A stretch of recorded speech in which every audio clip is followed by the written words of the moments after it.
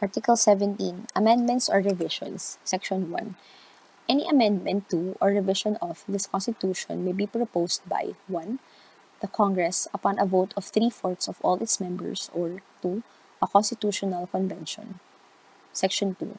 Amendments to this Constitution may likewise be directly proposed by the people through initiative upon a petition of at least 12 percentum of the total number of registered voters, of which every legislative district must be represented by at least 3 percentum of the registered voters therein. No amendment under this section shall be authorized within five years following the ratification of this Constitution, nor oftener than once every five years thereafter. The Congress shall provide for the implementation of the exercise of this right. 3. The Congress may, by a vote of two-thirds of all its members, call a constitutional convention, or by a majority vote of all its members, submit to the electorate the question of calling such a convention. 4.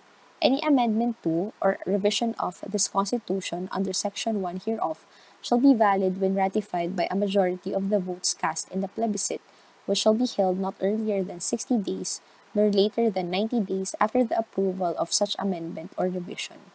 Any amendment under Section 2 hereof shall be valid when ratified by a majority of the votes cast in a plebiscite, which shall be held not earlier than 60 days, nor later than 90 days after the certification by the Commission on Elections of the sufficiency of the petition.